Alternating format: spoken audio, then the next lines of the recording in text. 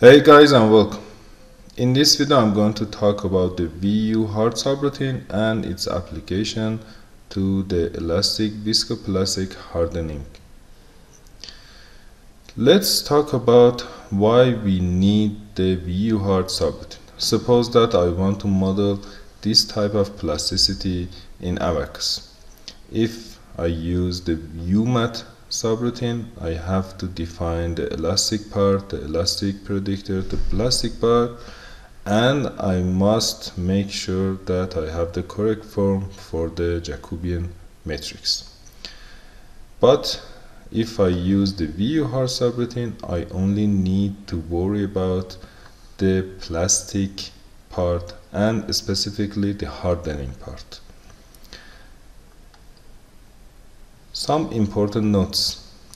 The VUHARD subroutine can be used to define a material's isotropic yield behavior as well as a combined hardening model. Also, it requires that the derivatives of the yield stress to be defined.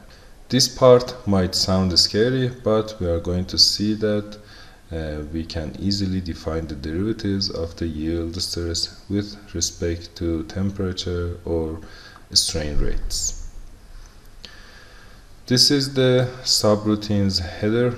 Most of the parameters are known, thus I'm going to focus on the most important uh, inputs.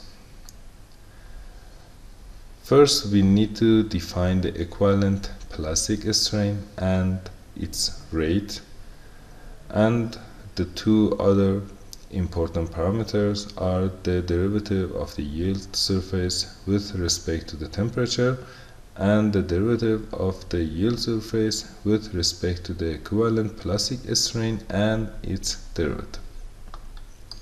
Let's see some example. Suppose that I want to model a hardening which is dependent on the strain rate and temperature. And our parameters are as shown here. If I want to use the UMAT subroutine the Jacobian matrix for this type of hardening is going to be a major problem. However on the VUHARD subroutine we can easily define this type of hardening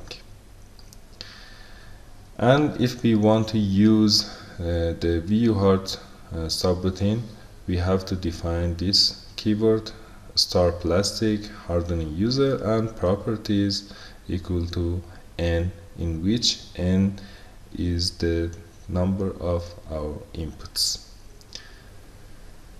Continuing with the subroutine this is the header of the subroutine and then some dimensions and character.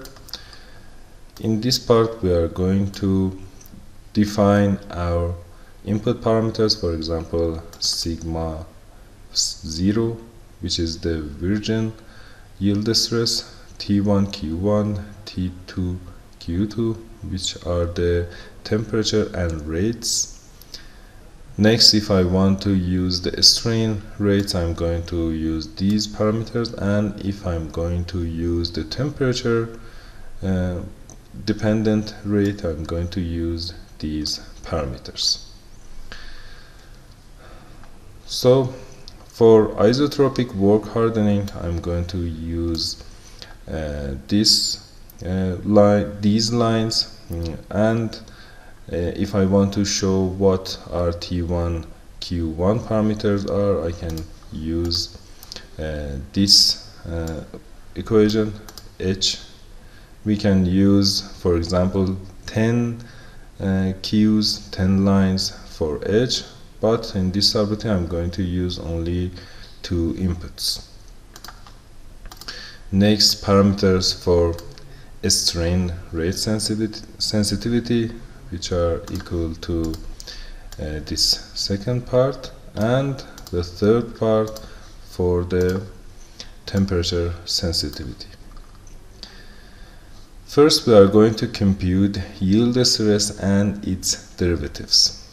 This is the yield stress according to our formula. Next we are going to define the derivative with respect to equivalent plastic strain which is easy. Then we are going to define uh, the derivative with respect to equivalent plastic strain rate. In our formula this is not present so it's going to be zero and derivative with respect to the temperature is also going to be zero next we are going to apply the rate sensitivity if needed. If n is going to be greater than zero we are going to have these parts.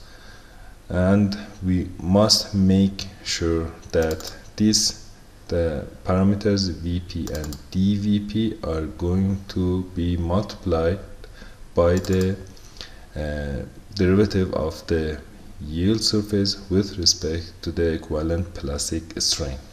This is the most important line if we are going to apply the rate sensitivity. Next if we are going to apply the temperature sensitivity uh, I'm going to uh, show that this is uh, pretty equal to applying the rate sensitivity. Only the formulas are going to be different and we are going to also multiply the derivative of the yield surface with respect to the equivalent plastic strain with the derivatives of the yield surface with respect to temperature. Always remember to multiply the derivative of the yield surface with respect to the uh, equivalent plastic strain with the applied temperature or uh, strain rate sensitivity these lines are also uh, very important in our calculations. This concludes our video. If you find this video useful, please subscribe to my channel and uh, like my videos. Take care.